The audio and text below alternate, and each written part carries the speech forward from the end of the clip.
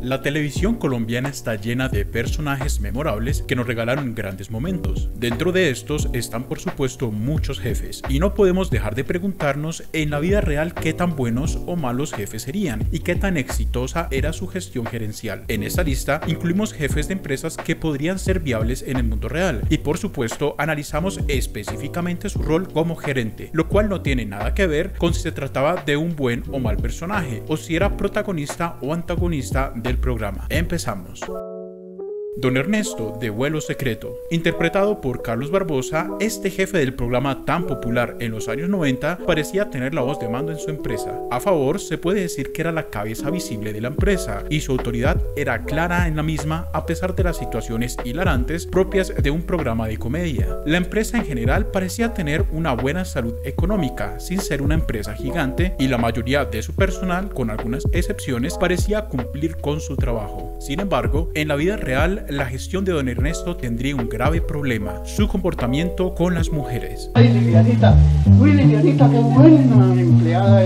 De hecho, en algún momento se lo vio disfrutando de material no apropiado en su oficina y sus constantes expresiones a las subalternas que podrían considerarse acoso eran algo bastante preocupante para un hombre con su responsabilidad. ¡Uy, qué barbaridad, qué maravilla! ¡Ay, qué, qué bestialidad! En el que voy a necesitar lo mejor de cada uno de ustedes. Si me gusta y ojalá conserve ese estado de ánimo para cuando pase este volante y nos sentamos a, conversar. Vaya, vaya. Claro, en la época era algo tomado como una comedia, pero si fuera extrapolado al día de hoy, claramente Don Ernesto se vería envuelto en muchos problemas. ¡Caramba! ¡Uy, Alejo, ven, ven! Edilberto Reyes, de los Reyes. El entrañable personaje interpretado por Enrique Carriazo es uno de los más amados de la televisión colombiana. En un principio parecía poco preparado para el cargo que recibió como gerente de una gran compañía. De hecho, recordemos que se le asignó a la doctora Natalia para ayudarle con la gestión y sobre todo a pulirse en las formas. Nice to meet you. como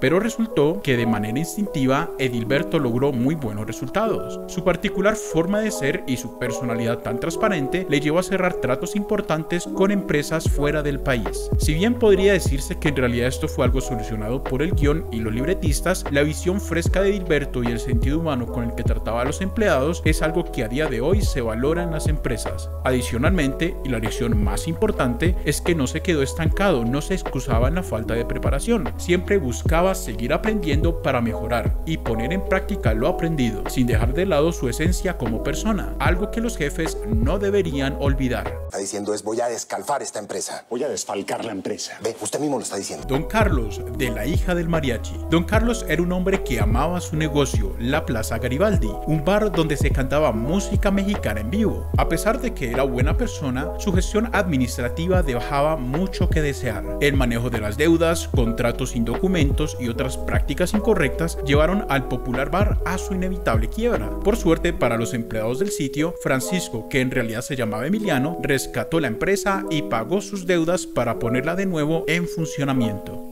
Beatriz Pinzón, de Betty la Fea. Beatriz estuvo en el centro del huracán con todo lo ocurrido en Ecomoda. Algunos incluso creen que la novela está contada desde el punto de vista de los villanos, tema que no vamos a meternos porque hay mucha opinión al respecto. Como secretaria podría decirse que Beatriz hizo cosas incorrectas, pero hay que recordar que no era la jefe en ese momento. Sin embargo, cuando llegó su momento de redención al conseguir el puesto como la nueva gerente, lo hizo muy bien. Durante su gestión, la visión fresca que tenía para la empresa la llevó a sacarla de cifras rojas, salvando así también el empleo de cientos de personas. También demostró tener un gran talento con el manejo de relaciones públicas y a su manera consiguió grandes aliados y tratos con personas importantes de la industria. Era una jefe que se le veía trabajando y no solo mandando, pero centrada en hacer lo que debía hacer sin perder de vista los objetivos de su agenda administrativa.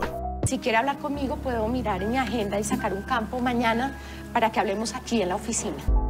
Manuel Gómez, del último matrimonio feliz. Manuel sin duda es un villano que se ganó su fama como malo de la historia por ser manipulador y un mal marido en general. Sin embargo, hay que darle un punto a favor por su gestión gerencial. Al menos desde el punto de vista de una junta directiva, Manuel era un buen gerente. Bajo su cargo, la empresa hizo bastante dinero y sin duda era un tipo que sabía moverse en el mundo financiero y de influencias. Puede que no fuera el más amable de todos los jefes, pero su trabajo administrativo rendía los resultados que se esperan de alguien que esté en su cargo. Quizás el menos popular de la lista, pero sin duda uno de los que obtenía mejores resultados.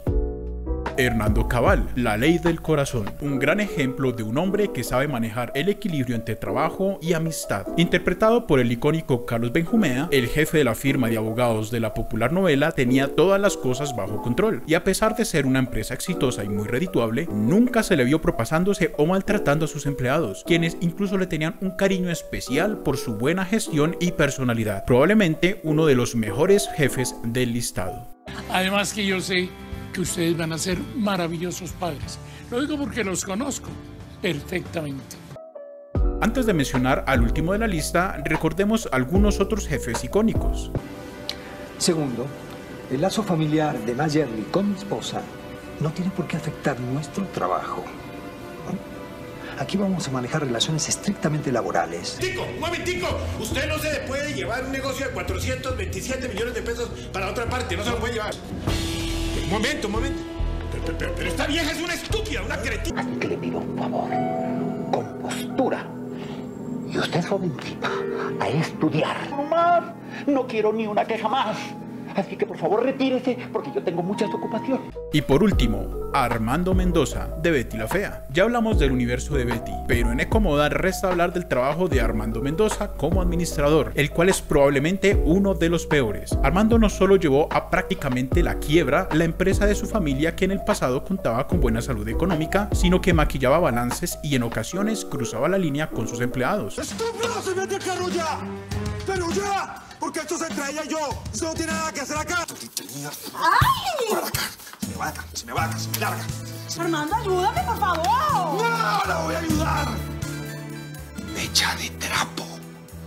No le voy a pagar hoy. Y tampoco le voy a pagar mañana. tenía claros problemas de control de ira y los trataba de una manera déspota. Adicionalmente, dudosas contrataciones a personal que al parecer se debía más a un tema de palancas que realmente personal capacitado. Armando es posiblemente uno de los peores jefes que se haya visto en la televisión colombiana.